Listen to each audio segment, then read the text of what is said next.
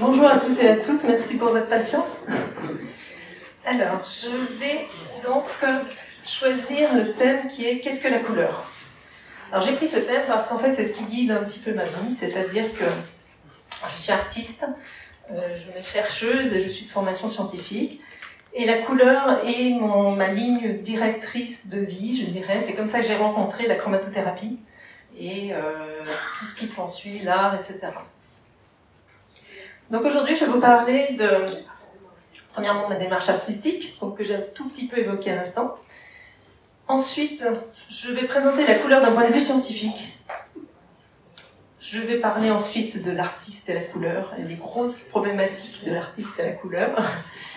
Couleur et chromatothérapie, j'irai très rapidement parce que euh, c'est trop vaste euh, pour en parler.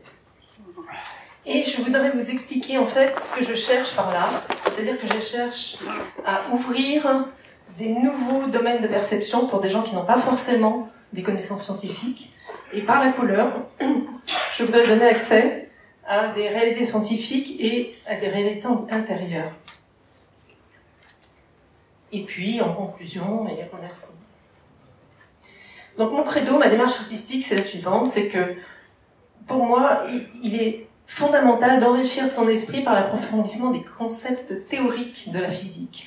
Je crois qu'on a la chance d'être dans une, une mouvance euh, intellectuelle euh, d'origine cartésienne, certes, mais et je crois qu'il faut en profiter tirer tous les avantages de cette démarche. Mais euh, ce qu'on voit, c'est que bien sûr, ça suffit pas. Et je pense que le gros problème de société qu'on a actuellement, c'est qu'on est vraiment axé sur cette façon de voir les choses. Donc je propose un élargissement de la conscience par l'étude des philosophies orientales et traditions orientales. Et pour ça, j'utilise l'art qui me permet, grâce à l'art contemporain qui est très très ouvert et qui n'a pas de limite en fait, euh, d'élaborer euh, donc des créations à partir de points de vue donc intellectuels et intuitifs. Voilà, donc c'est ce que j'essaie de faire. Et après, je vous laisserai juger du, résultat. Donc pour vous montrer ce que j'appelle art et science, parce que c'est pas toujours évident. Donc ça, c'est une des toiles que j'ai réalisée qui fait 2 euh, mètres par 1 mètre 60. Et l'idée, c'est, ça s'appelle l'univers fantastique quantique. Et ce que je représente ici, c'est une fillette qui part donc de son domaine de rêve pour aller dans un, une espèce d'huître, donc changement d'échelle de taille, et rentrer dans un monde quantique où euh, on peut retrouver euh, certaines, euh, certains comportements de l'univers quantique. Alors bien sûr, c'est artistique. il y a d'autres toiles comme ça qui, sont un peu sur ce même thème. Donc ça, c'est une peinture qui est faite en acrylique sur toile. Autre façon d'aborder l'art et science, c'est une série de photos. Donc le, principe est le suivant, j'ai une table, euh, donc avec des rayures, que vous pouvez voir là, un verre d'eau avec de l'eau, et c'est tout. Et l'idée était de prendre des photos avec différents points de vue. Alors, quand on place, quand on se place à l'aplomb, à la verticale du verre, on voit effectivement les rayures qui ne sont pas déviées par l'eau. Donc, on reste dans un système très euh, cartésien, je dirais. Et suivant le point de vue, on voit des choses totalement différentes. Donc j'ai développé huit photos qui permettent de, comprendre, je dirais à la fois la, la difficulté et la richesse d'échange. C'est-à-dire que chacun a son point de vue, en fonction de son, son background, en fonction de ses connaissances, en fonction de sa culture, et qu'il n'y a pas de réalité, il n'y a pas de vérité euh, vraie. Simplement, la vérité, ça va être l'ensemble de toutes ces perceptions. Et donc c'est pour ça que je dis la qualité d'échange est énorme, puisque euh, il n'y a que par l'échange qu'on peut arriver à converger vers un semblant de réalité. Du moins c'est mon point de vue. on va attaquer les choses un peu plus euh, théoriques. Donc, qu'est-ce que la couleur? Je me suis posé la question, puisque c'est mon leitmotiv. Donc la couleur est un phénomène quantique. Alors pourquoi est-ce que je dis quantique? C'est qu'à la base du processus, bon, ce que vous savez tous, hein, il y a un photon, euh, mais ce photon, donc ce quanta d'énergie, il est à la fois onde et particule. Alors pour écrire ces deux lignes, en fait, il a fallu 200 ans, un peu plus de 200 ans. Et ce que je voudrais juste citer quelques dates clés? Donc, on a commencé avec Newton qui a commencé à formaliser des choses et qui parlait de la lumière comme un flot de particules. Donc, pour lui, la lumière, c'était vraiment des particules. Donc, ça, c'est la, première euh, approche euh, théorique. Donc, c'est lui qui a euh, mis en évidence et formalisé par des formules mathématiques la réfraction de la lumière et donc le spectre de, des lumières colorées de l'arc-en-ciel à partir d'un prisme et à partir de la lumière blanche. Donc ensuite, on a eu, j'en passe euh, un certain nombre, mais on a eu Maxwell qui en 1885 a écrit mathématiquement la lumière comme des ondes électromagnétiques. Donc pour lui, c'était des ondes. Il n'y avait aucune ambiguïté, les formules, ça marche à merveille. On les applique, on trouve effectivement toutes les caractéristiques des ondes. Ensuite, Einstein est arrivé en 1905, il a dit, mais attendez, euh, ces deux concepts, flot de particules et ondes électromagnétiques, euh, qu'est-ce que c'est? Il a commencé à évoquer la notion de quanta. la notion de quanta, c'est les photons. Et finalement, donc la personne qui a fini par effectivement réunir ces deux visions des choses, ondes et particules, c'est Schrödinger, et qui a écrit toute sa théorie euh, de la lumière, euh, de la mécanique quantique. Donc suite à ça, on a euh, des formules clés, notamment on a la relation de Planck qui dit que le quantum d'énergie, l'énergie, c'est égal à la constante de Planck, une constante par définition, par la vitesse de la lumière divisée par lambda qui est la longueur d'onde. Donc ça, c'est des, choses qui sont importantes parce que ça permet, même au niveau de la chromato, d'avoir une idée d'énergie par rapport à la couleur, par rapport à la longueur d'onde. Alors en général, euh, le quantum d'énergie s'exprime en. Là, c'est des, des, notations qui sont euh, du système international, mais ça se transforme. Donc, on peut dire que la couleur par contre, n'existe pas d'un point de vue scientifique. Alors pourquoi? Parce que je parle de longueur d'onde, et donc les scientifiques ne, ne parlent que de longueur d'onde en fait. Et jamais ils vous parleront de couleur au sens strict du terme. Donc, si on regarde toutes les ondes électromagnétiques, le spectre des ondes électromagnétiques, on part des ondes très très haute énergie qui sont les rayons gamma, on passe par les rayons X, etc., UV, on arrive au visible, donc qui est de la fréquence de 400 nanomètres à 800 nanomètres, c'est-à-dire 0,4 micron à 0,8 micron, le micron étant le millième de millimètre. Et on continue les infrarouges, micro-ondes, ondes radio, etc. Donc on se rend compte que ce qu'on appelle le visible est très très très très peu. Donc moi quand j'ai découvert ça, je me suis dit, c'est bien gentil cette théorie, mais euh, pourquoi Newton parle de cette couleur? Dr Agrappa nous parle toujours de six couleurs de Goethe qu'il y a quand même un problème, quelque part peut-être. Euh, moi, je cherche la longueur d'onde du soleil la longueur d'onde du blanc. Je la trouve pas. Je vois que du violet rouge. Donc, je sais pas où elle est. Et puis, euh, je cherche le rose, je vois pas. Donc, ça pose quand même problème. Alors, le problème, il est que la couleur, effectivement, pour les scientifiques, n'existe pas. Et c'est en fait l'œil, donc l'humain, qui va percevoir avec son œil la couleur. Ce qui peut expliquer d'ailleurs que les animaux voient pas du tout la même chose que nous.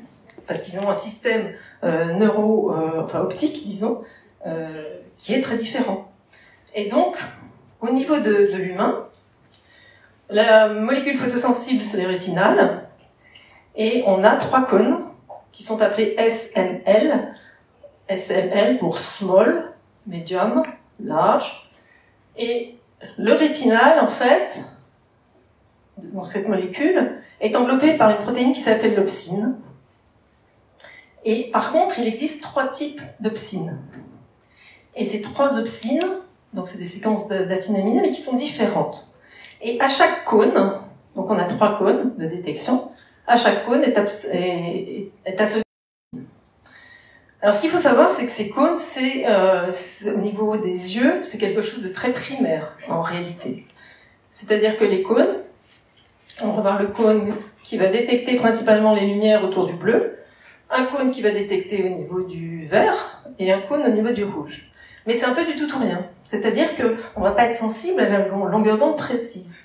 Et de ça est né euh, le, les normes qu'on appelle RVP, rouge, vert, bleu, et euh, qu'on appelle synthèse additive, on verra pourquoi, avec donc ces couleurs primaires qui sont rouge, vert, bleu, et qui correspondent donc à ce que les cônes euh, du cerveau détectent.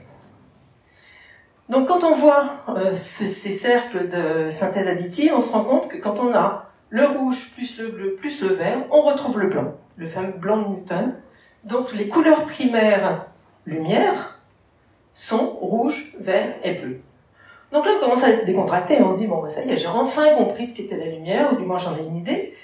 Et donc, euh, on se dit, on va prendre des vacances. Le problème, c'est que donc les couleurs sont donc une création du cerveau humain. Le problème, c'est que en tant qu'artiste, je me dis, bon, ben voilà, on va attaquer, on va mettre les pinceaux et on va commencer à touiller la peinture. Le problème, c'est que quand je mélange toutes les couleurs, j'obtiens du noir et pas du blanc. Donc, pourquoi? Et qu'est-ce qu'il y a derrière, en fait? Quel est le fonctionnement derrière? Parce que finalement, c'est ça qui m'intéresse. Qu'est-ce que la couleur? Donc, on a les notions de couleur-lumière dont je viens de parler, avec ces cercles et euh, les couleurs primaires qui sont rouge, vert et bleu, comme je disais. Et on a les couleurs matières. Et c'est là où ça se complète. Les couleurs matières, c'est des couleurs qui sont liées au pigment. Donc quand on travaille en tant qu'artiste avec la couleur, on travaille avec les couleurs matières. Et on retrouve dans ce cas-là des normes qui s'appellent CMJN, C cyan, magenta, jaune et N pour le noir. Donc le cercle chromatique, enfin le cercle chromatique, c'est pas un cercle chromatique. L'agencement, donc la synthèse est une synthèse soustractive, et on voit que à partir de ces couleurs, on peut effectivement obtenir toutes les couleurs, mais au lieu d'obtenir du blanc central comme la lumière, on obtient du noir. Donc, euh, ça permet de, de, de, comprendre, enfin, de voir que euh, la couleur, c'est en fait beaucoup plus complexe que ce qu'on pourrait penser à l'origine. Donc, si on continue la démarche, qu'est-ce qu'il y a comme réalité physique derrière ces couleurs lumière et derrière ces couleurs matière? Donc, la couleur matière, c'est ce dont on parlait tout à l'heure avec Newton. Donc, c'est un phénomène de dispersion, c'est-à-dire que dans un prisme, euh, si par exemple, je prends un prisme en verre, j'envoie un rayon X qui traverse. Le rayon X, il va aller tout droit. Il verra pas le vert. Par contre, si je commence à mettre des, euh, des couleurs, enfin des longueurs d'onde relatives aux, aux longueurs d'onde des couleurs, le matériau va transporter la couleur de manière différente suivant la longueur d'onde, et donc je vais avoir cet éventail, je vais créer l'arc-en-ciel parce que les angles de sortie vont être différents en fonction des longueurs d'onde. Alors pourquoi cette couleur? J'ai pas répondu à la question par rapport à Goethe couleurs. Eh ben, il n'y a pas de réponse. C'est-à-dire que les deux ont raison, puisque euh, il n'y a pas plus six que cette couleur. Alors, dans la couleur lumière, la couleur lumière est fabriquée aussi à partir de phénomènes d'interférence. C'est l'autre processus.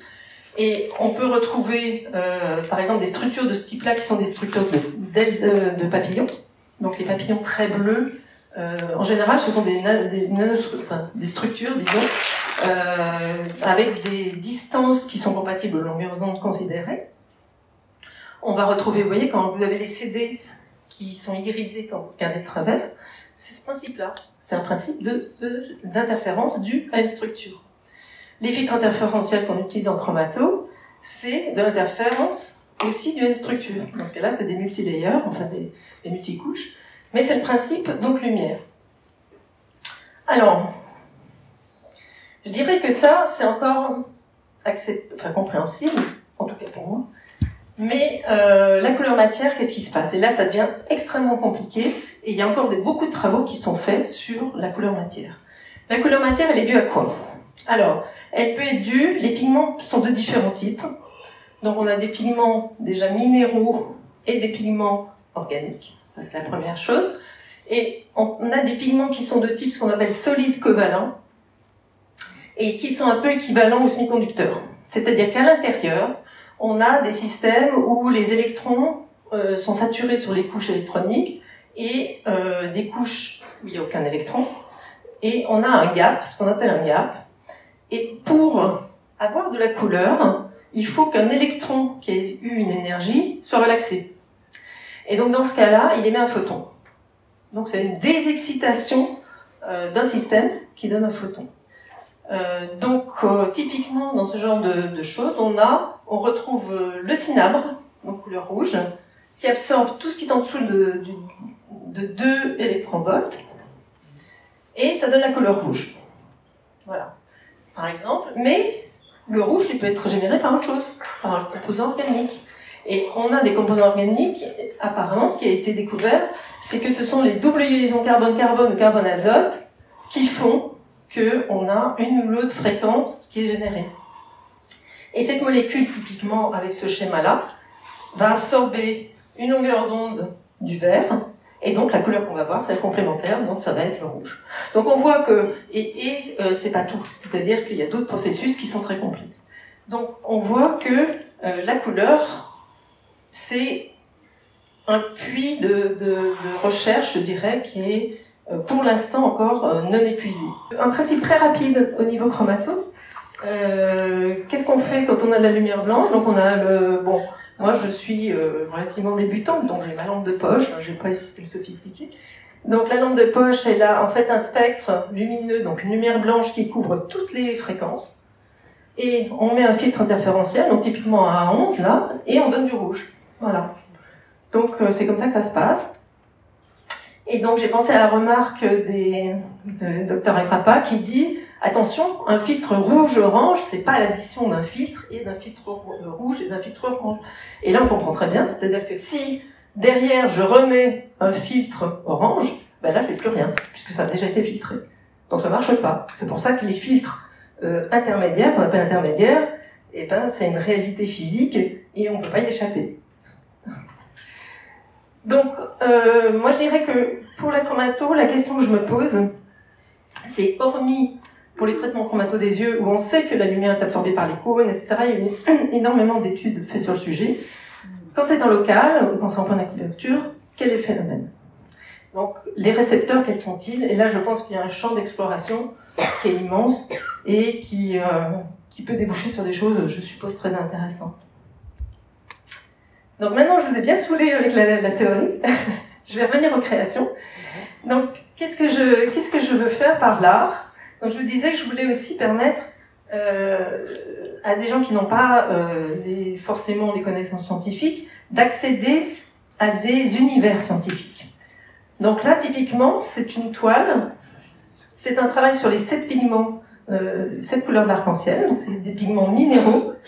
Et ça, c'est important parce que typiquement, euh, là, on voit que c'est du sulfure de, de mercure, donc c'est des des pigments qui sont purs, c'est pour ça qu'ils sont très très vifs, les couleurs sont très vives. Vous pourrez voir au fond de la salle le orange, c'est un orange qui est hyper vif parce que c'est du pigment pur. Et qu'est-ce, que vous voyez ici? En fait, c'est euh, une expérience qui est faite en synchrotron. Les synchrotrons, donc c'est des centres de, euh, de recherche sur, à partir de rayons X. Et donc, on place le pigment, une poudre de pigment, on en... Ah, j'ai pas quatre bras. On envoie un faisceau X comme ça, et ce qui se passe, c'est que le faisceau X qui rencontre le pigment va créer ce qu'on appelle des anneaux diffraction. Et ces anneaux diffraction vont être répartis en fonction de la matière. C'est-à-dire qu'en fait, le rayon X est euh, proche au niveau longueur d'onde de la structure interne du pigment et donc va euh, avoir une signature euh, qui se traduit avec différentes fréquences. Donc, par exemple, la signature euh, du bleu de cobalt, dans lequel donc il y a du cobalt, hein, voilà, donc ce sont des bâches comme ça. Je ne sais pas si vous voyez. Donc ça, c'est l'équivalent du rouge, mais pour le bleu, de cobalt. Voilà.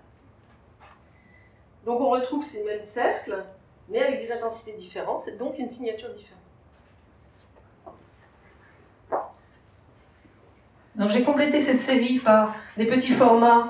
Vous avez aussi au fond de la salle euh, euh, deux tableaux donc, un format 40-40, c'est des petits sur toile. Oui, j'appelle ça le creuset. Donc, c'est plus, euh, disons, artistique, avec l'angle qui est un clin d'œil à l'optique pure de Newton, mais c'est juste un clin d'œil.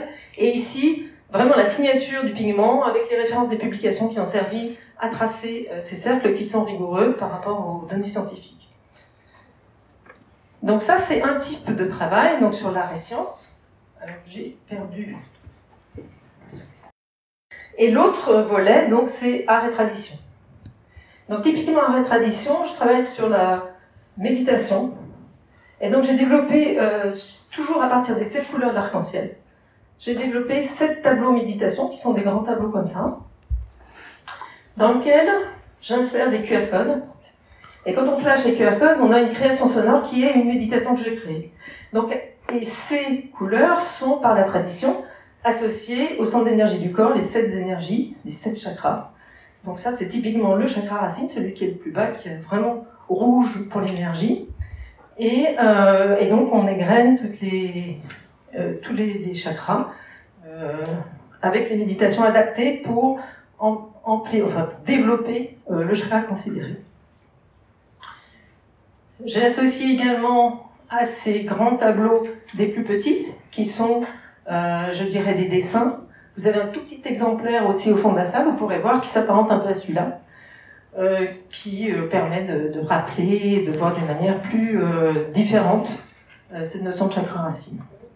Vous trouverez également Les Sept Méditations, qui est un petit livre que j'ai écrit, dans lequel vous retrouvez tout, toutes les toiles, donc les sept chakras, les sept méditations, avec possibilité de télécharger les, les, les vidéos et les sons, etc. Et j'explique en début le but de chaque méditation. Donc le but de développer chaque chakra.